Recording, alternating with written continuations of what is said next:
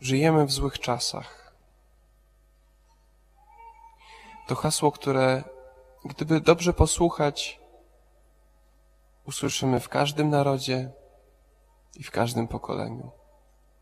Zawsze i wszędzie. Mówiono, żyjemy w złych czasach. I mieli rację. A my nie jesteśmy dziwni, nic z nami nie jest nie tak. Jesteśmy w normie, jest źle.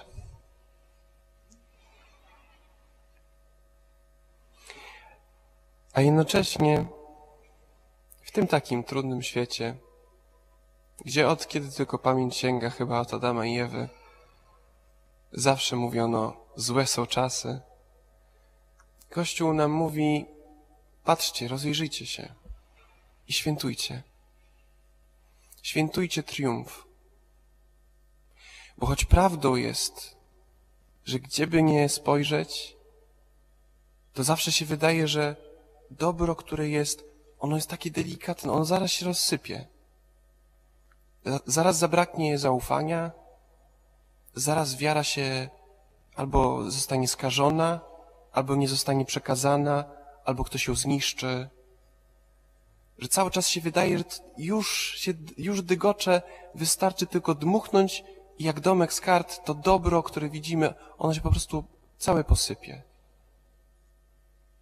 I choć tak było, i choć tak jest, to nieustannie w każdym pokoleniu i w każdym narodzie rzesze ludzi odnajdywało właśnie w tym świecie drogę do zbawienia, drogę do Chrystusa, drogę do prawdy, dobra, zaufania, do miłości. Rzesze ludzi odnajdywało uświęcenie. I oto my jesteśmy w podobnej sytuacji. W świecie, który wydaje się, zaraz się coś tutaj po prostu zawali, zniszczy, no nic, tylko panikować i krzyczeć.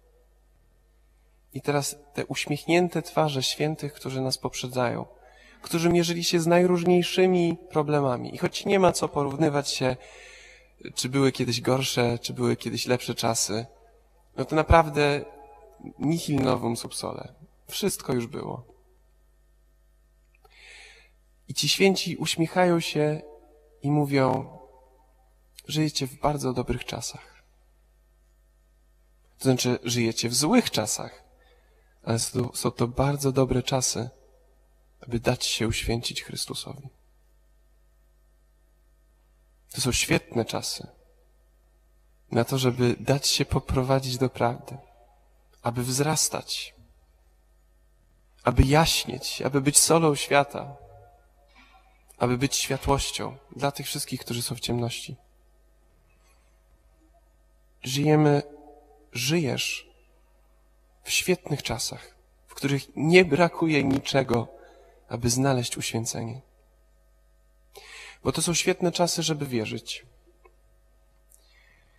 Wierzyć to znaczy rozejrzeć się, zobaczyć, że wszyscy są zagubieni i że ja jestem zagubiony i powiedzieć, ja też nie wiem jak jest.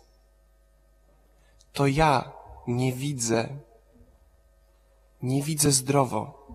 Widzę tylko zniekształcony obraz. To ja nie rozumiem. To ja muszę być uczniem. Nie mogę polegać tylko na tym, co już wiem, bo to jest za mało. Muszę wierzyć. Muszę cały czas uznawać, to ja jestem ten mały i głupiutki, który cały czas musi słuchać, co mi Chryste powiesz o tym, co się dzieje, bo ja nie wiem, co się dzieje. I trzeba oddać i ułudę poczucia kontroli, i ułudę poczucia, że ja wiem jak jest. I stać się uczniem. I słuchać. I słuchać Chrystusa bardziej niż nawet samego siebie. Bo często będzie nam mówił rzeczy, które są no wrę wręcz wprost przeciwko temu, co widzę i komu teraz zaufam. Czy będę wolał wiedzieć, ja już wiem, co jest dobre, co jest złe, którzy są dobrzy, którzy są źli? Czy jednak wciąż będę trwał w tym takim zawieszeniu wiary, które mówi, ja nie wiem, ucz mnie, mów mi jak jest, sam z siebie będę zagubiony, jak wszyscy inni. Świetne czasy, żeby wierzyć.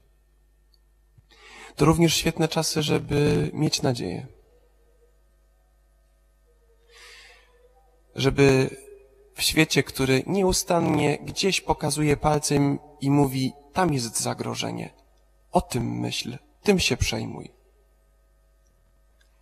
W świecie, w którym media społecznościowe znalazły genialny sposób na sprzedawania newsów, to znaczy panika, lęk i gniew, my musimy wierzyć i mieć nadzieję, że nie zagrożenie jest najsilniejsze że nie to, co się może stać, jest najsilniejsze.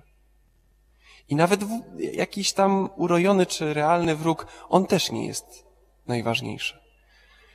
Że najważniejszy i jedyny wręcz ważny jest ten, który życzy nam wszystkim dobrze. I że on mówi, nie patrz na to zło, patrz na moje dobro. Nie krzycz, nie panikuj ja ci powiem, co masz robić. Dziękuj. Dziękuj za to, kim jesteś. Dziękuj za te czasy, w których żyjesz.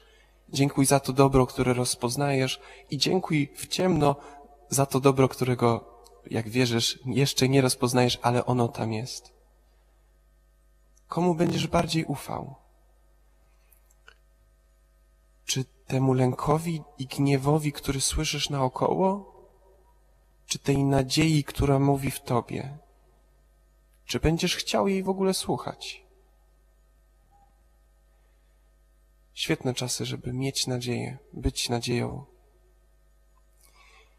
No i wreszcie, jak piękny to jest czas, żeby kochać. Kochać pomimo, kochać wbrew, kochać przebaczając, a wszyscy mamy tak dużo rzeczy do przebaczenia różnym ludziom, różnym środowiskom, naszym rodzinom. A jak dużo mamy w ogóle rzeczy, o które musimy prosić o przebaczenie. Trzeba powiedzieć, z miłości do Ciebie odważam się prosić Cię o przebaczenie. Jak dużo tego jest jak dużo jest okazji, żeby wobec złorzeczenia nie odpowiadać złorzeczeniem, ale błogosławić. Jak to jest świetny i tak dobry czas na to, żeby właśnie teraz powiedzieć sobie, ojejku, jak ja rzadko błogosławię ludzi. Jak ja rzadko błogosławię moich bliskich. A przecież mam moc, moje słowa mają moc. I tak wielu ludzi czeka na Twoje słowo. Tak samo jak Ty czekasz na dobre słowo, tak samo ludzie czekają na Twoje dobre słowo. Stęsknieni, spragnieni, żeby ktoś ich błogosławił. I gdzie nie spojrzeć, ludzie tego tak strasznie potrzebują. Aż nie ma gdzie, gdzie zacząć, nie wiadomo gdzie zacząć. Piękny, świetny, cudowny czas żeby kochać. Spójrzmy na tych wszystkich świętych. Spójrzmy na tych naszych patronów. Spójrzmy na tych wszystkich, którzy nas poprzedzają i dzisiaj jednym wielkim chórem mówią, wiecie jaki dzisiaj jest dzień? Oto dzisiaj dzień zbawienia. Oto dzisiaj dzień łaski. To jest nasz dzień. To jest nasz czas, w którym żyję. Nie brakuje mi niczego, abym wierzył, abym miał nadzieję i abym kochał. Nie brakuje mi niczego, abym odkrywał świętość Chrystusa i sam się nią napełniał.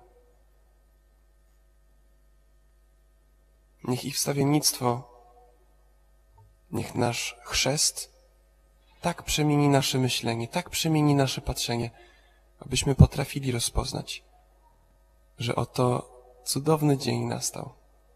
I każde dzisiaj jest tym dniem. Jest to dzień zbawienia. Dzień, kiedy możemy odnaleźć zbawienie.